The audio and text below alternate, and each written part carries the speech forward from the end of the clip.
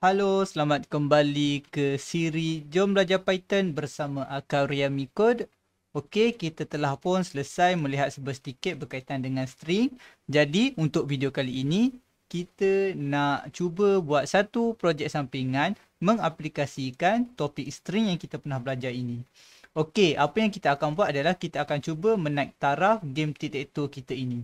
Okey, kalau anda ingat lagi game tic-tac-toe ini yang kita buat dalam projek sampingan 2 kita di mana kita mengaplikasikan uh, list. Okey, tapi untuk kali ini kita akan cuba untuk tidak menggunakan list tetapi kita akan gunakan string. Okey, ini dia description game kita, game tic-tac-toe uh, version 2 dalam terminal. Okey uh, rule dia semua sama cuma bezanya di sini ialah kita akan menerima input daripada user uh, satu nombor je iaitu n di mana kotak kita akan define macam ni. Nampak? Setiap petak kosong dia akan ada nombor dalam dia. 1 2 3 4 5 6 7 8 9 jadi kali ini user tak perlu bagi koordinat user hanya perlu bagi uh, label petak saja. Iaitu contoh dekat sini input 4 kan jadi player player kosong player O sekarang ni uh, akan gerak di petak keempat. Next player kata 5. So dia akan gerak di petak 5. Okey. Uh, itu je lah uh, perbezaan dengan titik itu pertama kita. Okey. Okey. Uh, yang pertama sekali kita akan create bot data. So saya nak copy paste ini. Okey, ni bot data kita. So kalau korang tengok sini bot kita ni tidak lagi menggunakan list tetapi menggunakan satu string. Okey, kalau kita lihat betul-betul string ni okey kita ada nombor okay, yang menunjukkan nombor ini indicate setiap petak tu lah. Okay, satu, dua, tiga. Lepas tu kita ada uh, slash di sini. Okay, kegunaan slash ni adalah untuk menunjukkan bahawa uh, telah pun sampai row yang baru. Okay, maknanya satu uh, kolom baru, dua kolom baru, tiga. Lepas tu kita ada row baru. Empat kolom baru, lima kolom baru, enam row baru 7, kolom baru 8, kolom baru 9. So dia jadi macam ni lah nampak ni. 1, lepas tu ada kolom baru 2, lepas tu masuk ke kolom baru 3. Next dia akan jumpa slash. Lepas 3 ni jumpa slash kan. So bila jumpa slash maka dia akan create uh, row baru. Okay. So uh, lepas itu kita nak print bot kita ni. Okay. Saya nak create satu function print bot. Yang mana dia ada satu argument iaitu bot. So for row in uh, bot split. Print row. Okey maknanya di sini okey string kita ni akan dipisahkan berdasarkan karakter yang kita bagi. Iaitu dalam kes ini karakter yang kita bagi adalah slash. Makanya string kita ni akan dipisahkan menjadi tiga item. Mana setiap item ni uh, dipisahkan berdasarkan slash kita ni. Maka uh, ini item pertama kita ini item kedua kita dan ini item ketiga kita. Okay. So kalau kita cuba uh, runkan kita punya function ni. Oops.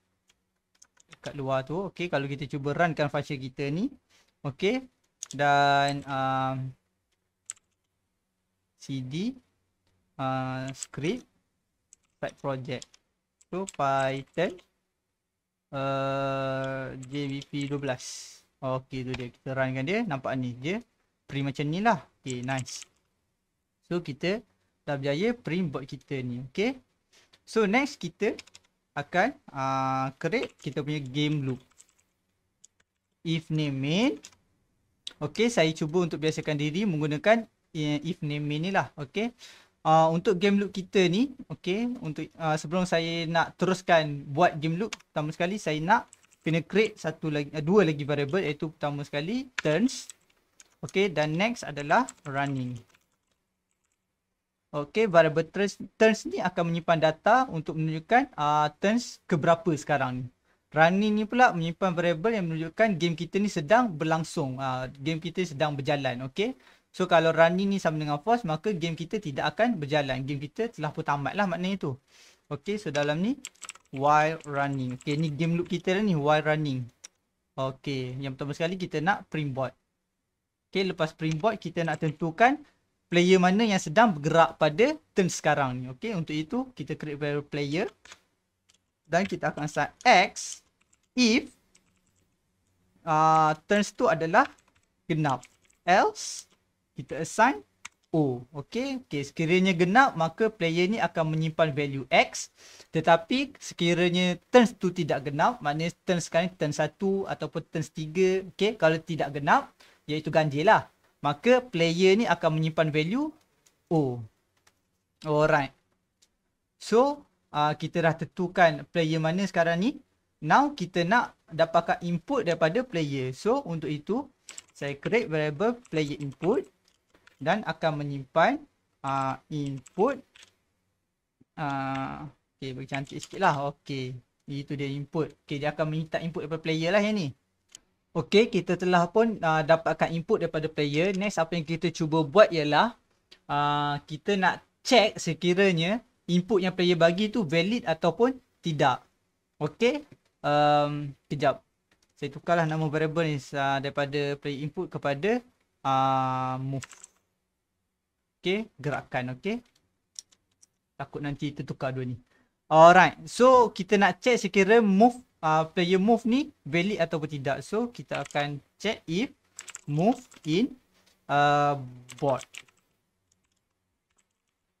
Okay, maknanya dekat sini kita pakai membership operator kan. Kita nak check sekiranya input yang player bagi tu, okay, ada ke tidak dalam stream board ni. Ingat eh, input yang player perlu bagi tu adalah Ah uh, ni label box ni. Kalau player nak gerak pada petak 6 maka dia kena bagi input 6.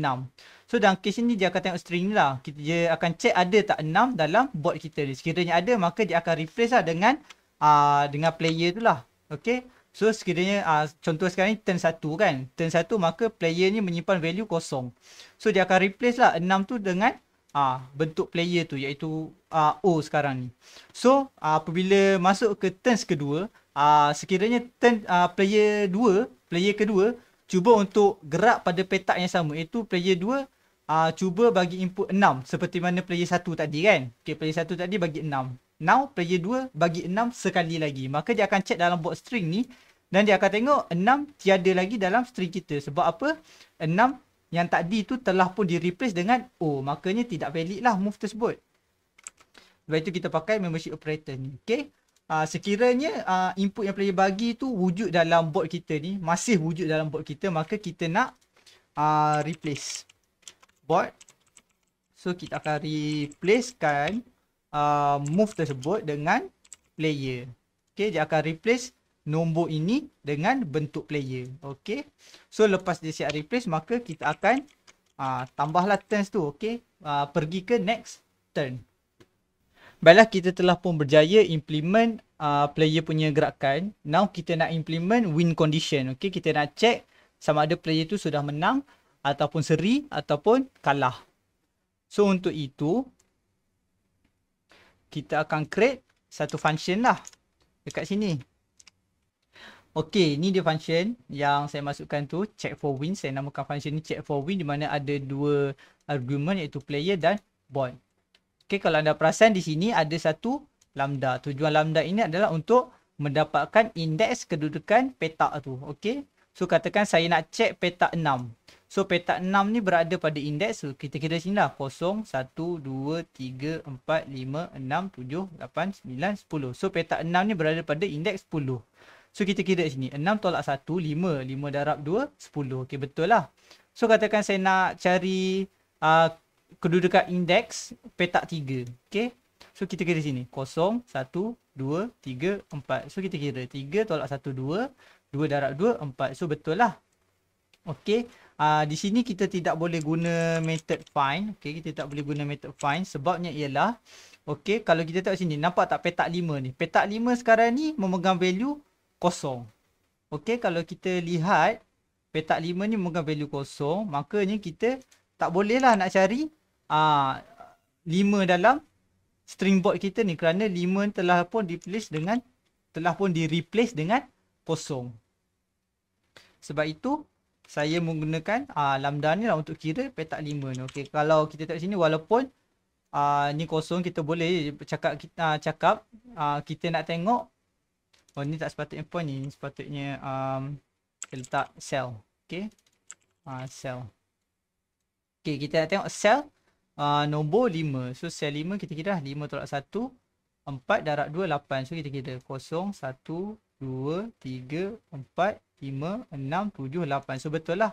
Uh, ini petak 5 kita di mana petak 5 kita sekarang ni memegang uh, nilai kos, uh, O. So kembalikan koordinat asal. Buang ini. Alright. So kita check sini. Ini semua simple je. Okay. Yang sini apa yang kita nak check ni adalah. Okay. So kalau anda perasan sini. Bot T1. Maknanya kita dapat uh, nilai pada petak petak satu iaitu di sini. So dalam kes ini petak satu kita adalah kosong aja akan return satu. So tambah bot T5. Okay so T5 kita di sini. Di mana nilai T5 kita sekarang memegang nilai kosong. So di sini akan return uh, so, tulis kat sini lah. Uh, saya buat komen sikit. So untuk bot T1 ni dia return satu. Bot T5 ni dia return O bot T9 ni okay, kalau kita check bot T9 dia return 9 sebab tak ada nilai lagi. So kalau kita check dekat sini so uh, conclusion bagi uh, operator uh, expression ni adalah okay, bot T1 tambah bot T5 tambah bot T9 ni kita dapat 1O9.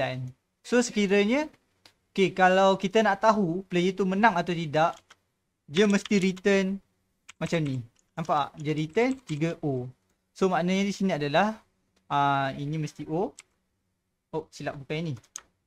Uh, dia cek apa ni? T1, T5, T9. Oh saya silap. T5 kita ni, T5 kita ni adalah X. Ni X patut ini. T5 kita ni adalah X. Okay. So uh, untuk menang kita kena ada triple X macam ni. Okay. Kalau kita check dekat sini untuk itu. Satu dengan sembilan ni mesti X. So nilainya mesti jadi macam ni. Maknanya satu ni mesti X. Lima ni mesti X. Sembilan ni mesti X. Baru player sebut menang. Uh, okay.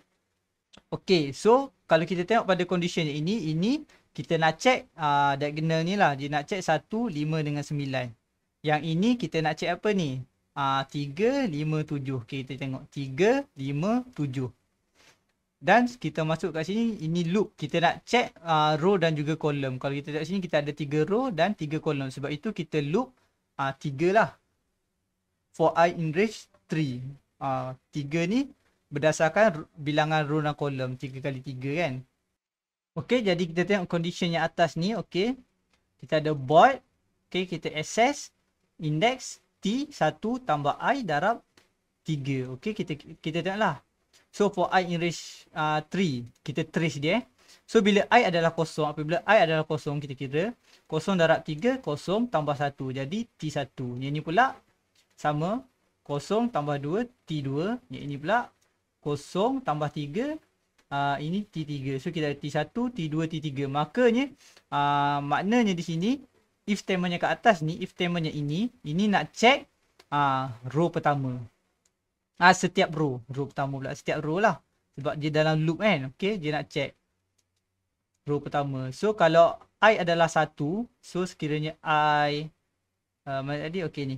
Sekiranya i adalah satu, makanya satu darab tiga, tiga tambah satu, empat. Yang ni tiga tambah dua, lima. Tiga tambah tiga, enam. So kita ada empat, lima, enam. Maknanya pada i satu dia akan check row kedua. Empat, lima, enam. So pada i kedua dia akan check Ah, uh, root akhir ni lah 789. Okay. Uh, ingat eh, I ni dia tidak akan sampai I3 sebab 3 itu adalah uh, eksklusif. Dia akan loop 0, 1, 2 sahaja.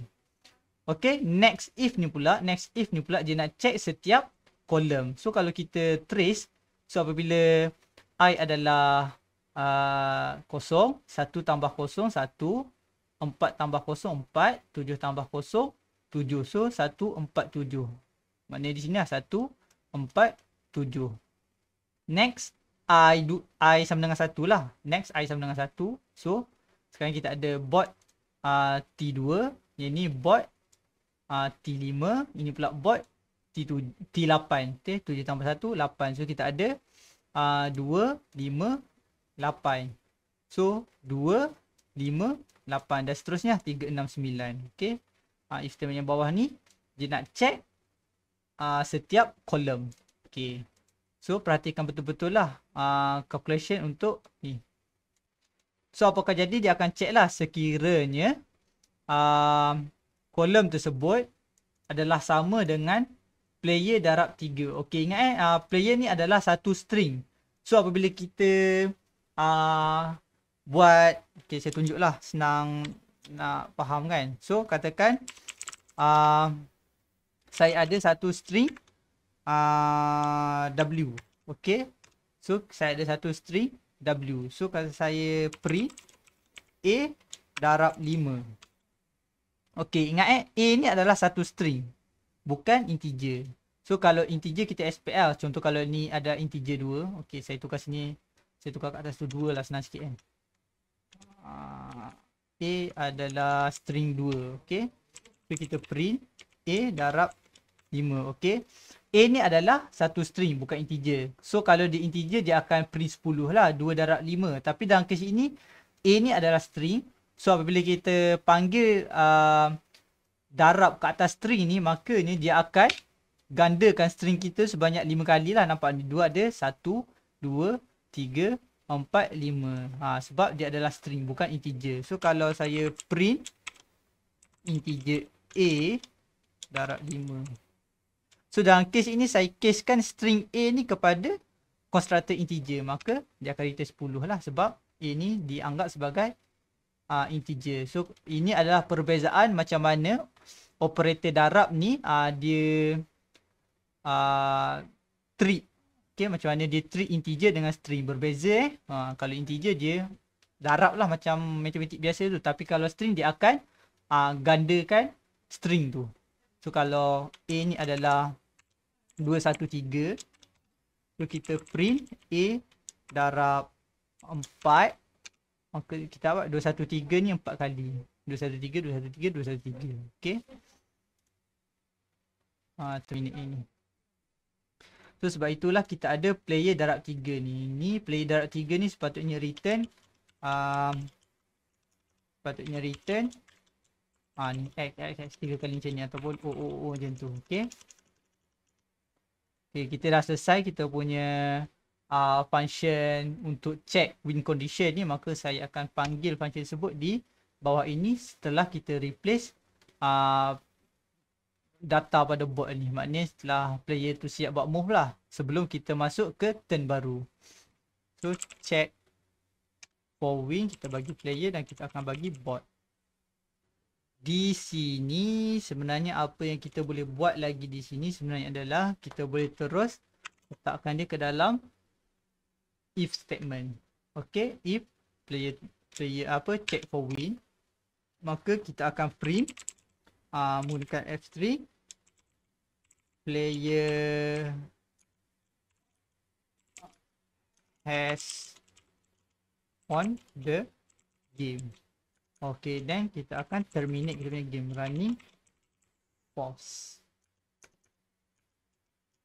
Alright, so kita dah selesai. So sekiranya, okay, check for win ni return something. Tengok sini, sekiranya play to win ni return something. Dalam kes ni dia akan return player ni lah. So, kita akan kata, kita akan print player tersebut telah pun menang dan kita akan uh, uh, stop kita punya game loop yang menggunakan uh, ni kita akan tukar variable run kita ni kepada false menunjukkan bahawa game kita ni telah pun tamat. Okey, next kita nak check uh, seri pula. Okey, macam mana kita nak tahu uh, bahawa uh, game tersebut habis dengan seri. Okey, caranya senang je iaitu kita akan check, okey. Setelah kita check for win ni menunjukkan dah tak ada, so kita akan kata elif sekiranya uh, tak menang, kita akan check elif turns 9 maknanya sudah pun turn 9 okay? Turn tak akhir lah. So bilangan turn yang possible dalam game ni 9 je lah sebab kita ada 9 petak kan. So turn tak akhir tetapi tak ada seorang pun menang maka kita akan kata print. Okay? Draw draw and running itu pause uh, pause okay kita akan tamatkan game kita ni Okay, so kita check dekat sini. Kita telah pun siap kita punya win condition ni. Setelah kita update kita punya board, maka kita akan check sekiranya player itu menang atau tidak. Katakan player itu menang, maka kita akan kata player itu menang dan kita akan tamatkan game. So katakan player itu tidak menang dan kita berada di pusingan terakhir iaitu pusingan 9 maka kita akan kata draw. Okey tetapi um, kalau tengok sini saya rasa uh, di sini kita boleh ubah dia. So okay, dalam ni katakan dia tak return. So kat bawah ni saya kata return none. So maknanya sekarang ni katakan semua if statement dalam ni ni false. Okay semua ni false maka dia akan sampai ni lah return none lah. So kalau dia return none maknanya tak ada player menang. Dan ini saya boleh simpan dalam variable. Uh, uh, player win sama dengan saya akan ambil inilah check for player win ni. So, uh, if ni kita buang if player win or turns equal to 9 print benda ni if player win else kita akan print draw Okey, maknanya yang ini dia tidak perlu. So sebelum tu kita kena print board lah. Saya lupa nak print board. Print board board.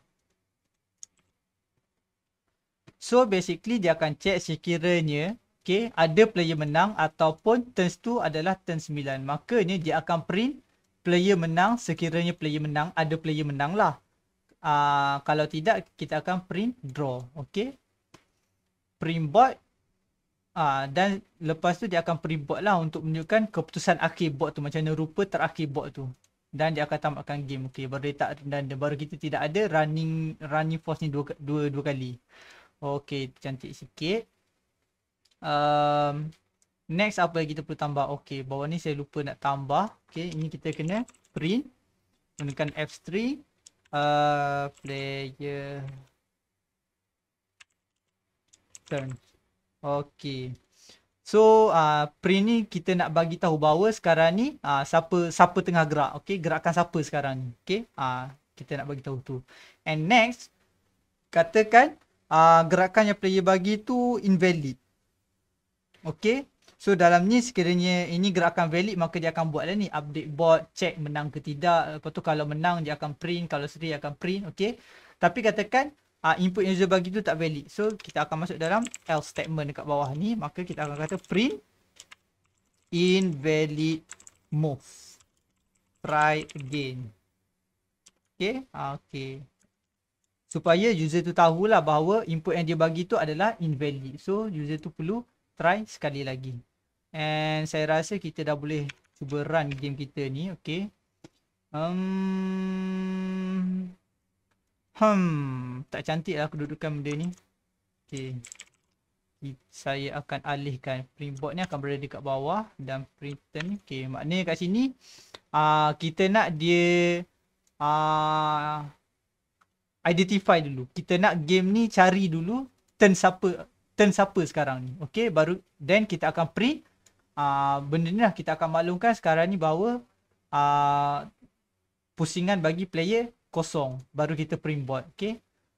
Okey harap fahamlah tu. Saya cuma alihkan kedudukan dia je. Okey baru cantik. So kita nak dia bagi tahu kita terlebih dahulu giliran siapa baru kita print board so kita gerak pada petak satu so sekarang ni gerak uh, apa pusingan bagi player X so katakan X cuba gerak pada petak satu juga invalid move try again okey sekarang masih lagi player X dua um, tiga, tujuh, lapan, sembilan. Saya cuba untuk buatkan benda ni seri. Lima, empat, enam. Okey, seri. So, kalau kita nak buat kita ni, seri. Okey. So, kalau kita cuba menangkan dia.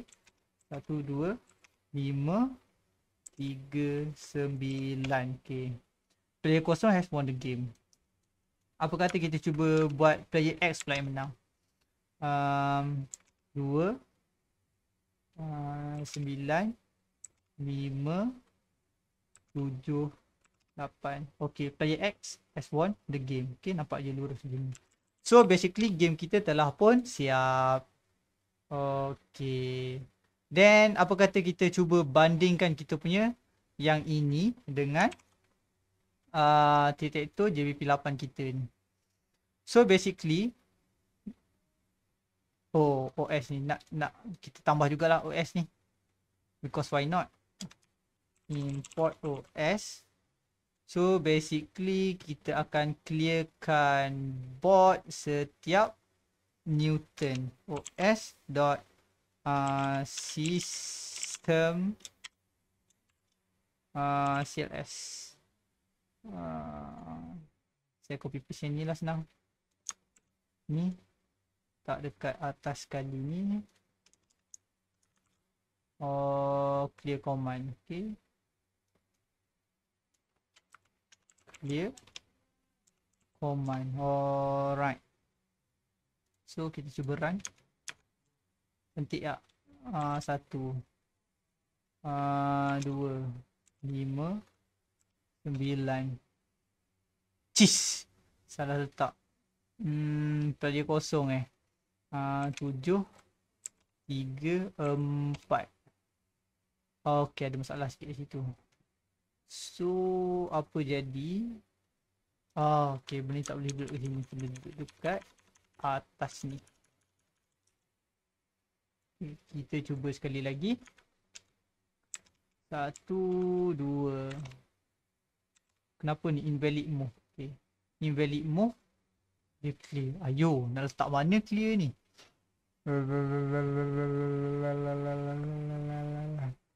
Lepas input Okay kita cuba letak lepas input. Aduh. Satu Dua. Invalid move Try again. Ah okay nice. So empat Lima Tujuh. Okay tu dia. Ah, kita letak, kita letak. Selepas kita menerima input. Okay. Hmm, apa kita nak check? Oh, tak kita nak bandingkan kita punya yang kedua dengan yang ni. Okey. So kalau kita tengok daripada sini kita ada berapa line ni? 76. 76 line. So kalau yang ini kita ada uh, oh, kita ada uh, berapa ni? 48 line sahaja. Jauh beza. 48. 48 yang ini 76 jauh jugalah beza so basically uh, selesailah kita punya game titik tu.